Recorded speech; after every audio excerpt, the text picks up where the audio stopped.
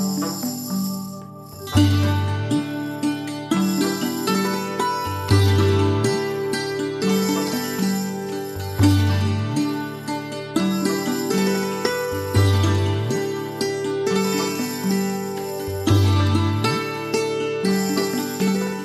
युकेबाट प्रसारित नेपाली टिभी युकेबाट म दिपा थापाको नमस्कार। युकेबाट प्रसारण गर्ने हामीले युकेको मात्र नभएर आज नेपालको हामीले रिपोर्टिङहरू प्रस्तुत गर्दैछौँ। एनआरएनए आइसिसीले चाहिँ जुन चौध वर्षदेखि नेपालबाट बाहिर रहेर रहनुभएका सम्पूर्ण गैर आवासीय नेपालीहरूले नेपाल र नेपालीको लागि के गर्न सक्छौँ त र नेपाली भएर नेपालीकै लागि गर्नुपर्छ भन्ने सिद्धान्त बोकेर चौध वर्षदेखि यो सेवा पुर्याइरहेको छ। आज यसै एनआरएनए आइसिसीको आठौँ अधिवेशन कार्यक्रम आज फोर्टिन्थ अफ अक्टोबरबाट सुरु भइरहेको छ। नेपालको पहिलो महिला राष्ट्रपति विद्यादेवी भण्डारीको प्रमुख आतिथ्यमा सम्पन्न भइरहेको यस एनआरएनए आइसिसीको आठौँ अधिवेशन जुन हायत होटेल काठमाडौँमा हुँदैछ। आज फोर्टिन्थ अक्टोबरदेखि सेभेन्टिन्थ अफ अक्टोबर चार दिनको यस कार्यक्रममा चाहिँ सत्तरीभन्दा बढी देशहरू बाट जुन गैर आवासीय नेपालीहरू हुनुहुन्छ। देशबाट बाहिर बसेर पनि नेपाल र नेपालीको लागि केही गर्नुपर्छ र हामी नेपाली हौँ र नेपालीकै लागि गर्नुपर्छ भन्ने प्रमुख उद्देश्य लिएर हिँडिरहनु भएको छ। उहाँहरूको यहाँ सहभागिता छ।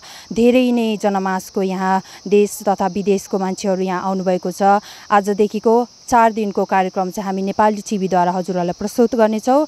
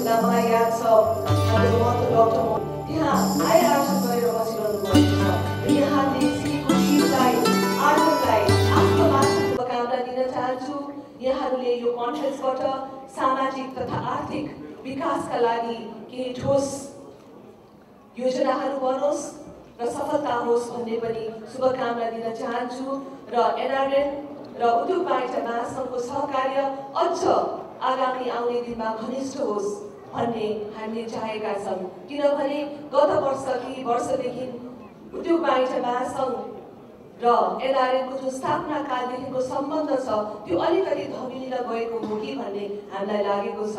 हामीले थुप्रै कार्ययोजनाहरू बनाएको थियौँ डाक्टर महत्त्व हुँदाखेरि।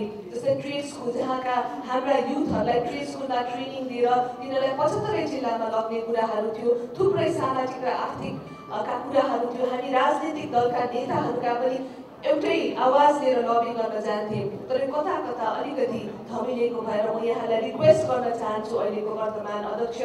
आउने नयाँ नेतृत्वलाई र पूर्व अध्यक्षज्यूहरूलाई कि हाम्रो सम्बन्ध गहिरो भयो भने निजी क्षेत्रको विकास आर्थिक समृद्धिको लागि एक अर्का एकत्रित भएर अगाडि बढ्न चाहन्छौँ। र फेरि एकपटक म यस ग्लोबल कन्फरेन्सको र जेनरल एसेम्ब्लीको शुभकामना दिँदै दिन चाहन्छु। धन्यवाद।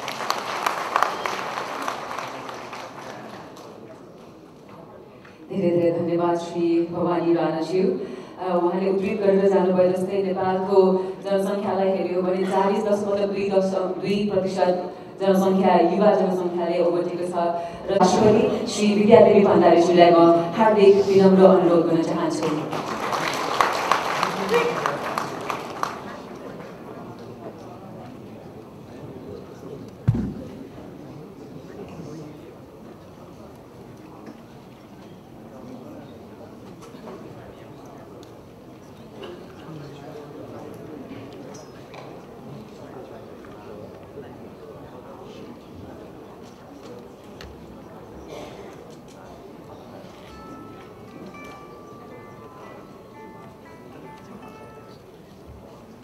माननीय उप प्रधानमन्त्री एवं परराष्ट्र मन्त्री तथा आठौँ गैर आवासीय नेपाली विश्व सम्मेलन उच्च स्तरीय आयोजक समितिका संयोजक। माननीय उद्योग मन्त्री।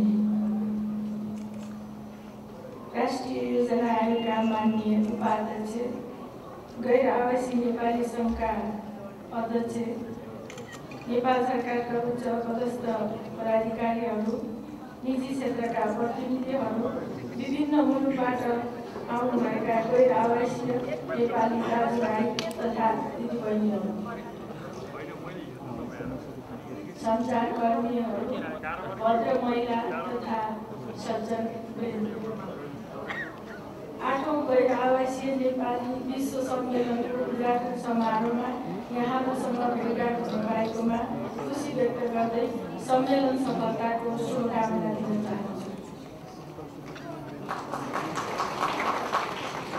संसारभरि फैलिएर गएका नेपालीहरूलाई गोल बन्द गरी एक आपसमा सहयोग आदान प्रदान गर्न र नेपालको विकास र समृद्धिमा योगदान गर्न गैर आवासीय नेपाली सङ्घले विगत डेढ दशकदेखि महत्त्वपूर्ण भूमिका निर्वाह गरेको छ र आगामी दिनमा थप सफलता प्राप्त गर्नेछ भन्ने मेरो विश्वास छ।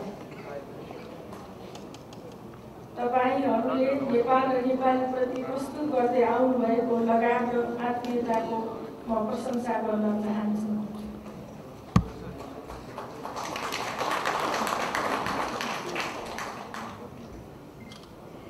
जुनसुकै भाषा र संस्कृति भए पनि विश्वका अनेक देशमा रहनुहुने तपाईँ नेपालीहरूको नेपालसँगको सम्बन्ध भावनात्मक र आत्मीय हुँदै हो।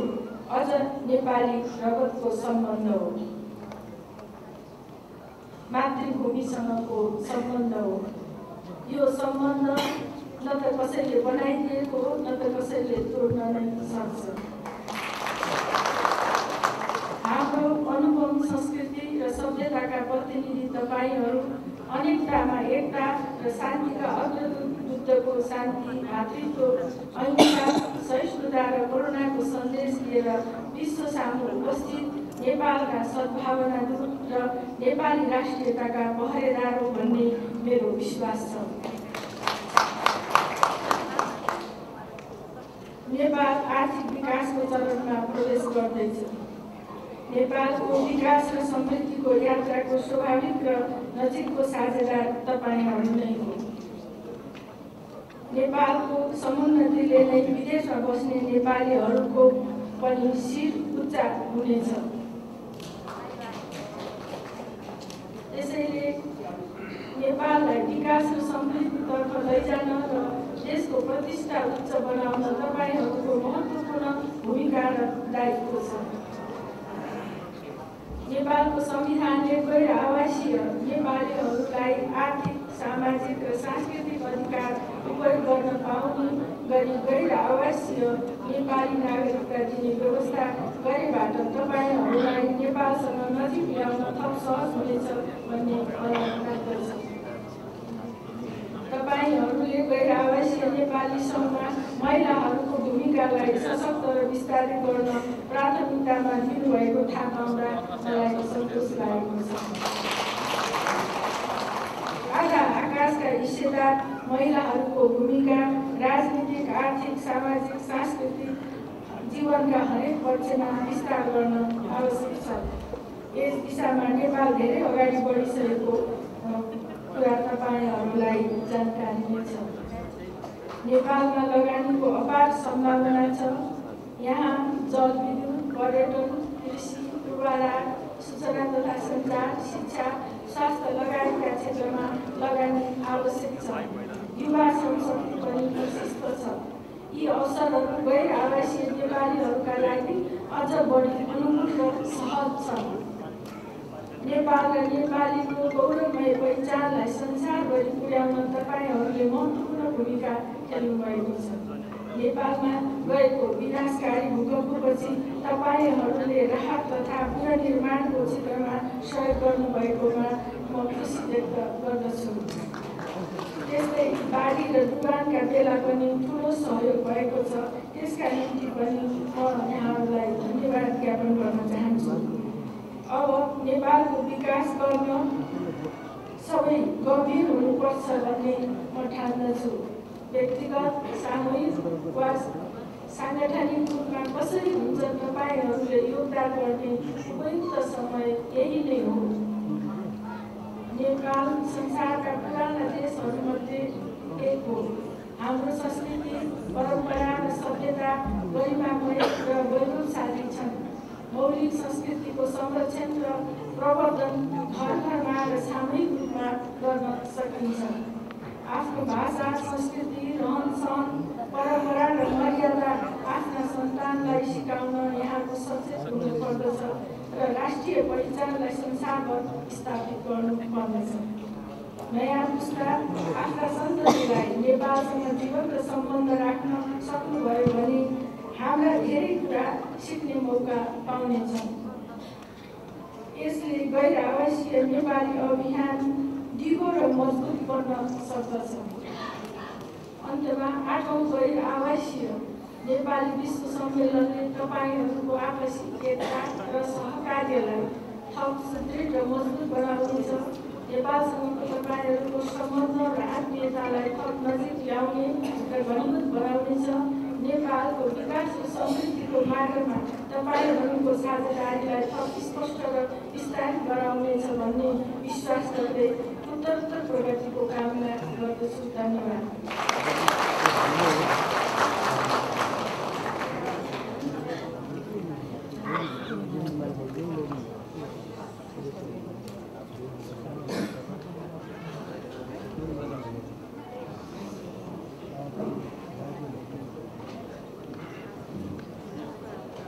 धेरै धन्यवाद सम्माननीय राष्ट्रपति श्री विद्यादेवी भण्डारीज्यू यहाँको मुखार बिन्दुबाट प्राप्त विशेष मन्तव्यमा हामी सबै आभार प्रकट गर्न चाहन्छौँ नेपालको आर्थिक विकासका चरणहरूमा अहिले प्रवेश गर्ने क्रममा थुप्रै नजिकका साझेदारहरूको रूपमा रहेका विभिन्न सङ्घ संस्थाहरूमध्ये गैर आवासीय नेपाली सङ्घ निकै अगाडि अग्रस्थानमा पुगिरहेको छ र आज यहाँ यस सम्मेलनमा सत्तरीभन्दा पनि बढ्न लागि सुविधा क्षेत्रहरू शिक्षा क्षेत्र त्यसै गरी खेलकुद ऊर्जा पर्यटन विभिन्न क्षेत्रमा लगानीको लागि अनुकूल अवस्थाहरू सृजना हुनुपर्ने कुरामा हामी सबैजना एकबद्धता जनाउन सक्छौँ अहिलेको लागि यस सम्मेलनको यस समुद्घाटन समारोहको हामी अन्ततिर पुगेका छौँ आदरणीय महानुभावहरू र यस क्षणमा आजको यस सम्मेलनमा समुद्घाटन समारोहमा म समापन मन्तव्य प्रस्तुत गर्नु हुनको लागि गैर नेपाली सङ्घको अन्तर्राष्ट्रिय परिषदका अध्यक्ष डाक्टर शेष खरेजीलाई हार्दिक अनुरोध गर्न चाहन्छु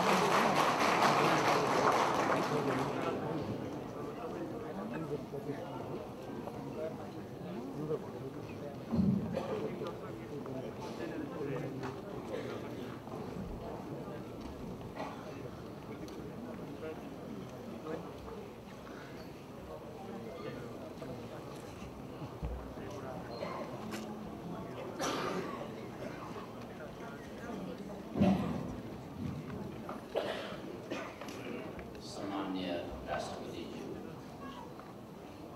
माननीय उप प्रधानमन्त्री तथा राष्ट्रमन्त्रीज्यू माननीय मन्त्रीज्यूहरू सरकारका उच्च पदाधिकारीज्यूहरू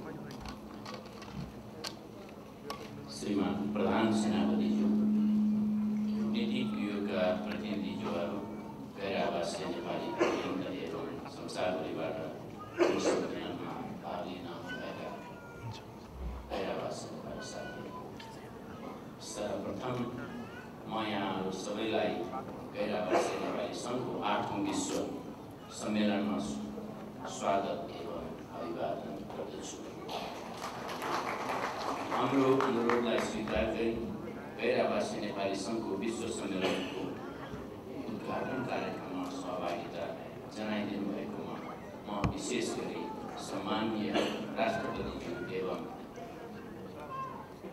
अरू सम्मानित व्यक्तित्वहरूलाई हार्दिक आभार प्रकट गर्दछु सम्मान्य राष्ट्रपतिज्यू नेपालीका लागि नेपाली भन्ने मूल नाराका साथ आजभन्दा चौध वर्ष अगाडि स्थापना भएको गैर आवासीय नेपाली सङ्घ आज सतहत्तर देशमा फैलिएको छ सुरुवाती वर्षहरूमा सङ्घको प्राथमिकता सञ्जाल विस्तारमा केन्द्रित भए भएपछि पछिल्ला वर्षहरूमा यो संस्थालाई सबल बनाउने र नेपालीको समृद्धिमा साझेदारी गर्नेतर्फ केन्द्रित भइरहेका छौँ। गैर आवासीय नेपालीहरूले विदेशमा आर्जन गरेको पुँजी र सिपलाई नेपालमा लगानी गरी मातृभूमिलाई समृद्धिको मार्गमा लैजान गैर आवासीय नेपालीहरूले भरपुर कोसिस गरिरहेको छ। जसको फलस्वरूप आज गैर आवासीय नेपालीहरूको अरबौँ रुपियाँ नेपालको पर्यटन स्वास्थ्य शिक्षा ब्याङ्किङ तथा उद्योग क्षेत्रमा लगानी भइरहेको सम्मान्य राष्ट्रपतिज्यूलाई अवगत गराउन चाहन्छु। यसले नेपालमा लगानी लगानी वातावरण प्रोत्साहित गर्न तथा नेपाली बिजनेस कम्युनिटीलाई आत्मविश्वास बढाउन समेत मद्दत पुगेको हामीले ठानेका छौँ पुँजी मात्र नभई विदेशमा आर्जित सिपलाई नेपालमा लगानी गर्ने कामलाई पनि गैर आवासीय नेपालीहरूले प्राथमिकता दिइआइरहेका छन्। खास गरी प्रविधि तथा सेवा क्षेत्रमा गैर आवासीय नेपालीहरूले हासिल गरेको विशेष विशेषज्ञता नेपालमा लगानी भइरहेको छ। गैर आवासीय नेपाली सङ्घको पहलमा हालै स्थापना भएको खुल्ला विश्वविद्यालय मार्फत सिप हस्तान्तरणको अभियानलाई मूर्त रूप दिन सकिने हामीले विश्वास लिएका छौँ। यद्यपि हामीले चाहेको जस्तो खुला विश्वविद्यालय आउन नसक्दा हामीलाई दुःख लागेको छ। मलाई विश्वास छ मलाई विश्वास छ जसरी हामीले दोहोरो नागरिकताको र नेपाली नागरिकताको निरन्तरताको माग गर्दै आइरहेका थियौँ। हालमा गैर आवासीय नेपाली नागरिकता दिने निश्चित भइसक्दा हामी त्यसमा सन्तुष्ट छौँ तर हाम्रो दोहोरो नागरिकता अथवा निरन्तरताको हाम्रो एजेन्डा अझै पनि रहनेछ।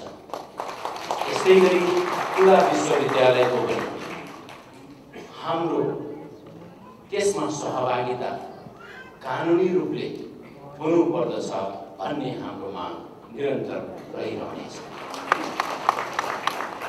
पछिल्ला वर्षहरूमा गैर आवासीय नेपाली सङ्घले मातृभूमिलाई परेको सङ्कटका बेला सारथीको भूमिका निर्वाह गर्दै आएको छ। चाहे भूकम्पको बेला होस् वा नाकाबन्दीका बेला चाहे पहाडमा गएको पहिरोको बेला होस् वा मधेसमा आएको बाढी र डुबानमा बेला होस्। मातृभूमिलाई चोट लाग्दा हामी गैर आवासीय नेपालीको दुखेको छ र यस्ता दुःखका घडीमा संसारभर रहेका कुनै पनि गैर आवासीय नेपालीहरू स्वयंले सुत्न सकेका छैनन् फलस्वरूप दुखेको घाउमा मलम लगाउन हामी कहिले आपतकालीन राहत लिएर कहिले भूकम्प पीडितलाई स्थायी आवास बनाइदिएर अनि कहिले लाइफ सेभिङ औषधिहरू बोकेर हामी मातृभूमिमा आएका छौँ देशलाई परेको दुःख दुःखका तुलनामा हाम्रो सहयोग सानै भए पनि देशवासी देशवासी दाजुभाइ दिदीबहिनीहरूलाई आपत पर्दा एनआरएनए एनआरएनहरू छन् है भन्ने डाडस दिन र आत्मविश्वास जगाउन सहयोगी भएको हामीले विश्वास गरेका छौँ देश समृद्ध नहुनुको पीडा हामी गैर आवासीय नेपालीलाई जति कसलाई हुन्छ होला विदेशमा सुविधा सम्पन्न सहरमा बस्दा उच्च कोटिका सुविधा उपयोग गर्दा पनि हाम्रो मन चाहिँ मेरो देश किन विकास भएन भन्ने यस प्रश्नले खोजिरहेकै हुन्छ विश्वका जुनसुकै उत्कृष्ट र राम्रा संरचनाहरू देख्दा हाम्रो मन अमिलो हुन्छ र आफ्ना मुलुकपछि पर्नुको पीडा बोधले मुख अँध्यारो हुन्छ विदेशी विमानस्थलहरूमा नेपाली पासपोर्टधारी नागरिकलाई हुने व्यवहारको घाउ सायदै होला। यसैले गैर आवासीय नेपालीहरूको समृद्धिप्रतिको चाहना केवल हावादारी गफ होइन। मन र मुटुको आवाज हो भन्ने कुरा सबैले बुझिदिनु जरुरी छ। मुलुकमा नयाँ संविधान जारी भएर स्थानीय चुनाव समेत सम्पन्न भएको यो परिस्थितिमा हामी गैर आवासीय नेपालीहरूलाई अत्यन्तै आशावादी छौँ। मुलुकमा राजनीतिक स्थायित्व कायम होस् लगानी मैत्री वातावरण बनोस् गैर आवासीय नेपाली एवं प्रत्यक्ष वैदेशिक लगानी आकर्षित गर्ने नियम कानुन बनौँ र हामी आ हामीले आर्जन गरेको सिप पुँजी र अनुभव बोकेर आफ्नो मुलुक फर्किन पाइयोस् भन्ने हाम्रो तीव्र चाहना अब पुरा हुन्छ कि भन्ने हामीलाई विश्वास लाग्छ। राष्ट्रपतिज्यू हामी गैर आवासीय नेपालीहरूले केही मुद्दाहरू उठाएका थियौँ जसलाई नेपालको राजनैतिक नेतृत्वले सकारात्मक भावनासहित सम्बोधन गर्न देखाएको अग्रसर अग्रसरताले हामी निकै आशावादी छौँ। नेपाली मूलका विदेशी नागरिकहरूलाई गैर आवासीय नेपाली नागरिकता प्रदान गरी नेपालतर्फ आकर्षित गर्नुपर्छ भन्ने हाम्रो माग संविधानमा लिपिबद्ध भएको छ। र यसका नियमहरू केही महिनाभित्रै बन्नेछन् र त्यो संविधानको मर्म संविधानमा उल्लेखित बमोजिम नै हुनेछ भन्ने हामीले आशा गरेका छौँ। वैदेशिक लगानी आकर्षित गर्न सहज हुने गरी हाम्रा नीतिहरूमा परिमार्जन गर्न सक्यौँ भने पक्कै पनि हामीलाई पूर्वाधार विकासका लागि चाहिने पुँजी भित्राउन सकिन्छ जस्तो हामीलाई लाग्छ। त्यसैले अब सरकारको ध्यान विदेशी पुँजी पुँजी आकर्षित गर्ने सन्दर्भमा देखिएका बाधा हटाउन नीति र व्यवहार दुवै सच्याउन केन्द्रित होस् भन्ने हाम्रो चाहना छ। राजनीतिक स्थायित्व प्राप्ति हुने दिशामा मुलुक अगाडि बढिरहेका बेला हामी गैर आवासीय नेपालीहरू मुलुकमा लगानी भित्राउन हाम्रा बाचा पुरा गर्न केन्द्रित हुनेछौँ। बदलिँदो समयसँगै बितेका चौध वर्षमा हाम्रो संस्था र गैर आवासीय नेपालीहरूको अवस्था पनि बदलिएको छ। सन् दुई हजार तिनमा झन्डै पाँच लाख नेपालीहरू विदेशमा थिए भने अहिले झन्डै पचास लाख पुगिसकेको छ। यो बिचमा विदेशमा दोस्रो पुस्ताका एनआरएनहरूको उदय भइरहेको छ। भने महिला र युवाहरूको सङ्ख्या पनि तीव्र गतिमा बढिरहेको छ। हाम्रा सदस्यहरूको सङ्ख्या मात्रै हाल करिब सत्तरी हजार पुगेको अवस्था छ।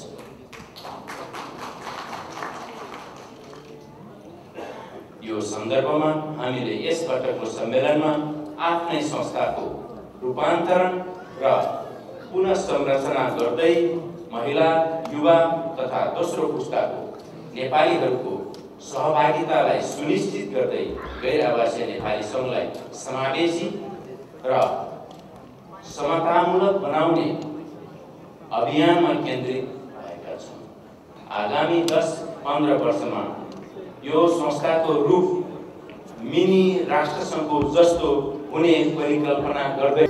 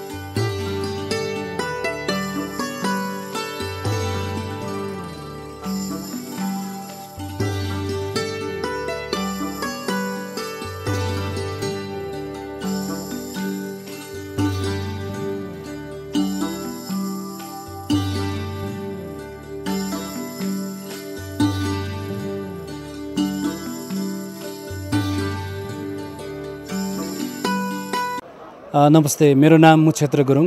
म अहिले बेलायतबाट निवर्तमान अध्यक्ष। अनि अहिले म यो हुन गइराखेको यो आठौँ विश्व सम्मेलनमा मैले केन्द्रीय कोषाध्यक्षको लागि उम्मेदवारी दिएको छु। हजुर अनि अहिले चाहिँ यो सातौँ अधिवेशन आठौँ अधिवेशन भइरहेछ। पहिला पनि अब एनआरएनसँग आबद्ध हुनुहुन्छ। पहिला र अहिलेमा चाहिँ कतिको फरकहरू कति इम्प्रुभमेन्ट आएको जस्तो लाग्दछ? यो तपाईँको यो अहिले चौध वर्ष भयो एनआरएनको मुभमेन्ट। हरेक वर्ष अथवा हरेक पालि चाहिँ यसको चाहिँ फरक फरक आइरहेको छ। अनि सदस्यता पनि वृद्धि भएको छ होइन? गर्दाखेरि यसको अब सङ्घले गर्नुपर्ने कामहरू जिम्मेवारी पनि बढिरहेको छ। गर्दाखेरि धेरै फरक पाएको छु मैले पहिलाको भन्दा अहिले। जस इम्प्रुभमेन्टमा चाहिँ धेरै नै अब सत्तरीवटा भन्दा बढी देशहरू सहभागी छ आज होइन? अनि त्यसमा अहिले अठहत्तरवटा देशहरू स- सतहत्तर देश चाहिँ सम्मेलन गर्ने चाहिँ तपाईँहरूको एउटा चाहिँ एम रहेको छ। अझ आगामी वर्षहरूमा चाहिँ अब एनआरएनले भनौँ न नेपाल र नेपालीलाई धेरै नै गर्दै आएको छ। अब आगामी वर्षमा अब हाइड्रो प्रोजेक्टहरू पनि धेरै नै चलिरहेको छ होइन?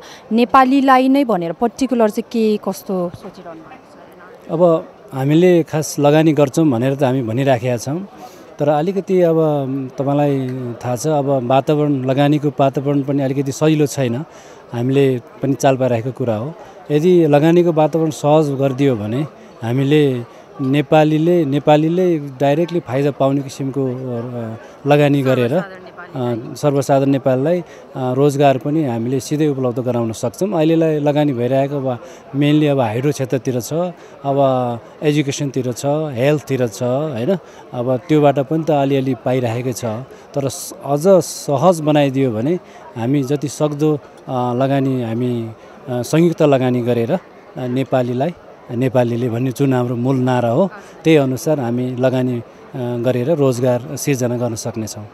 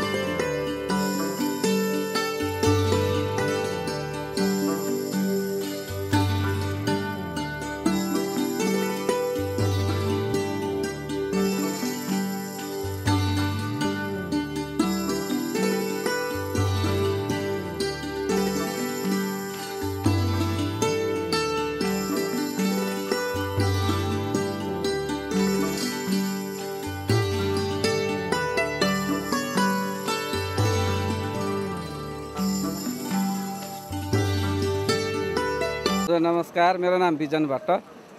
म युकेबाट र म यो अहिले एनआरएनको चाहिँ युरोप क्षेत्रीय उपसंयोजकमा उम्मेदवार छु।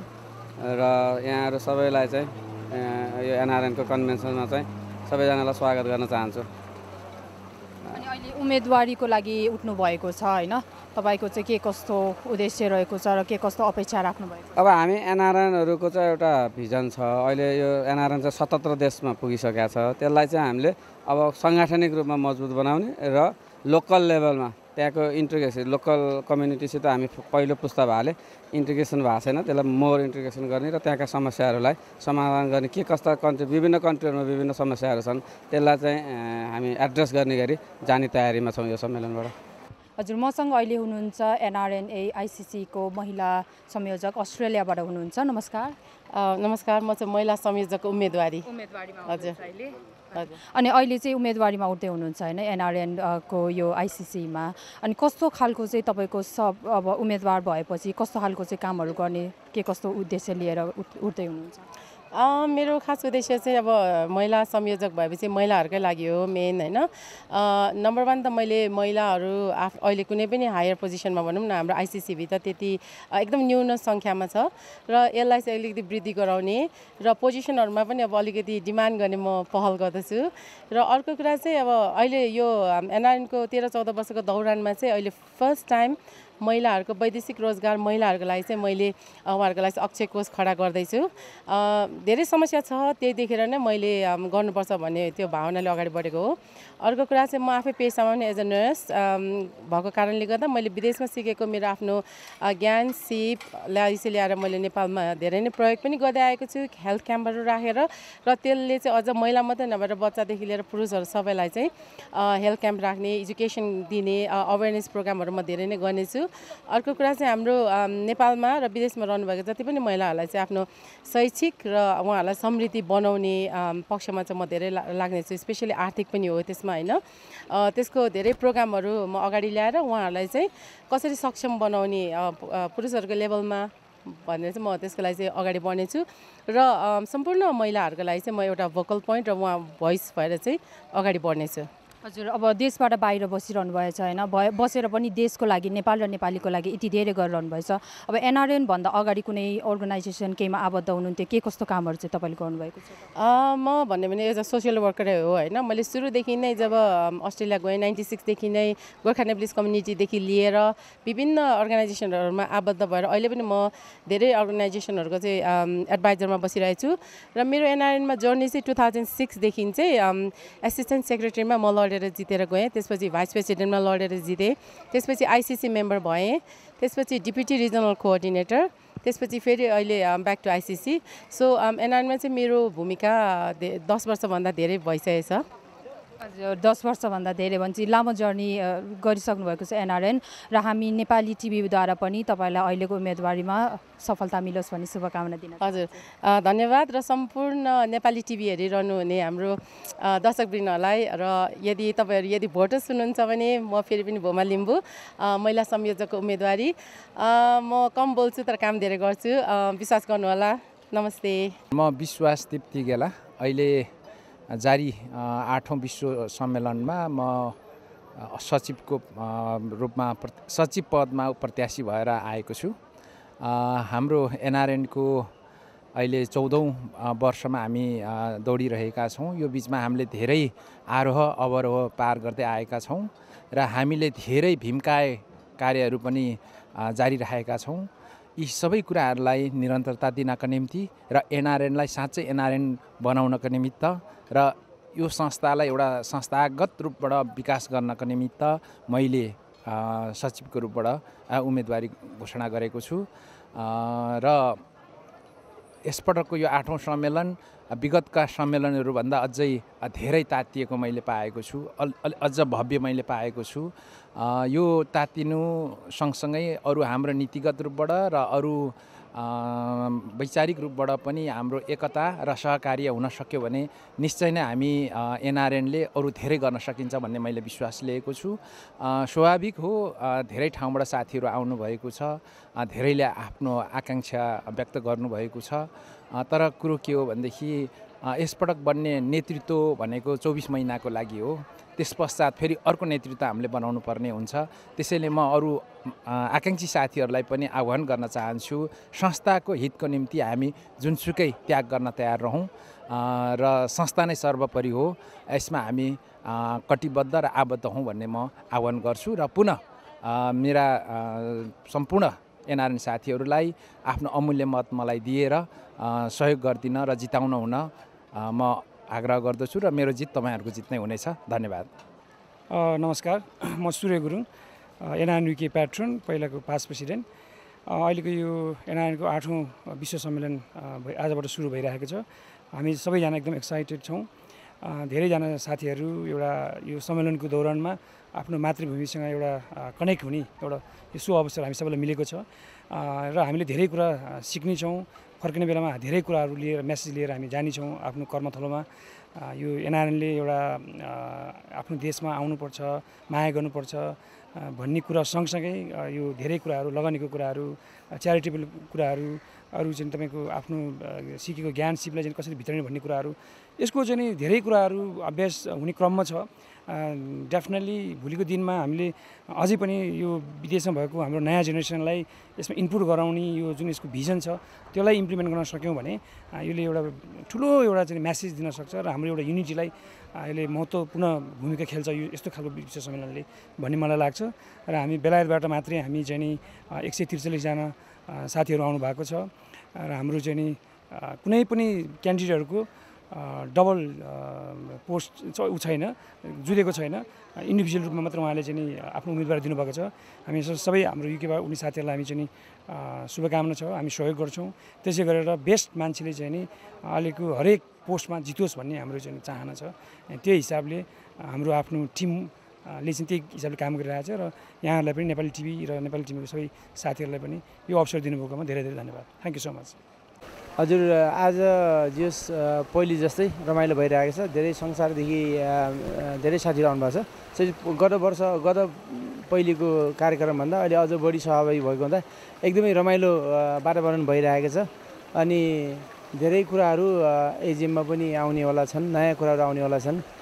र अर्को सत्र तारिकमा अधिवेशनपछि अथवा इलेक्सनपछि अवश्य नै नयाँ एउटा नेतृत्व चाहिँ चयन गर्ने हामी भइएको छ।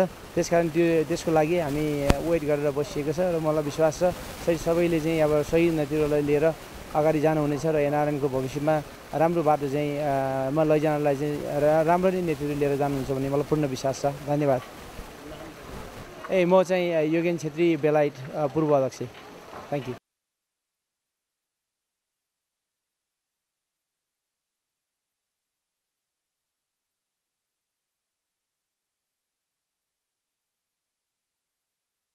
सबभन्दा पहिला नमस्ते। मेरो नाम योग कुमार फगामी। म अहिले वर्तमान एनआरएन युकेको अध्यक्ष। र अहिले मलाई यहाँ छोटो दुई शब्द राख्ने मौका दिनुभयो। नेपाली टेलिभिजनलाई टेल टेल टेलिभिजनलाई चाहिँ धन्यवाद दिन चाहन्छु। र अहिले सायद यो आठौँ महाधिवेशनमा एनआरएन युकेको सहभागिता एकदमै विगतमा भन्दाखेरि धेरै आएका छौँ। र मेरो व्यक्तिगत अनि संस्थागत हिसाबमा यो अधिवेशनमा जति पनि उम्मेदवारी दिनुहुने अथवा उम्मेदवारीका इच्छा राख्ने हाम्रो सम्पूर्ण साथीहरूलाई अग्रिम शुभकामना अनि बधाई दिन चाहन्छु। र एनआरएन युकेको धारणा अथवा एनआरएन युकेको चाहिँ चाहना चाहिँ उहाँहरूलाई सक्दो सबैलाई चाहिँ सहयोग गर्ने हाम्रो इच्छा छ र यही सन्दर्भमा उहाँ सबैलाई चाहिँ शुभकामना दिन चाहन्छु।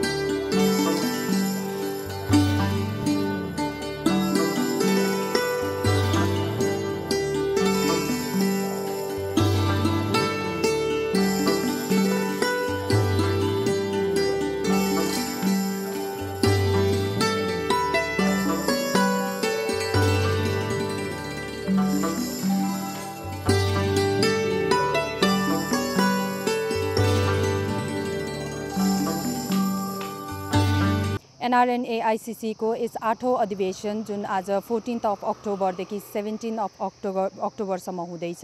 आज पहिलो दिन जुन सत्तरीभन्दा बढी देशहरूको देशहरूबाट आउनुभएका गैर आवासीय नेपालीहरूको सहभागितामा चाहिँ पुरा भएको छ। नेपाली टिभीद्वारा हामीले सबै फुटेजहरू चाहिँ हजुरहरूलाई देखायौँ प्रमुख झलकहरू। यसै गरी आगामी तिन दिनको कार्यक्रम पनि हजुरहरूलाई देखाउँदै जानेछौँ। नेपाली टिभी हेर्दै गर्नुहोला हाम्रो website W W W dot Nepali TV dot com slash लाइभमा गएर तपाईँले नेपाली टिभी वेबसाइटबाट पनि हेर्न सक्नुहुनेछ। यदि युके तथा युरोपमा बस्नुहुन्छ भने तपाईँले नेपाली टिभी घरैमा आइपिटिभी बक्स पनि राख्न सक्नुहुन्छ। त्यसको लागि हाम्रो वेबसाइटमा जानुहोला। थप इन्फर्मेसन चाहिँ तपाईँले वेबसाइटबाट देख्न सक्नुहुन्छ। यति भन्दै नेपाली टिभीबाट म दिपा थापा बिदा हुन्छौँ। धन्यवाद।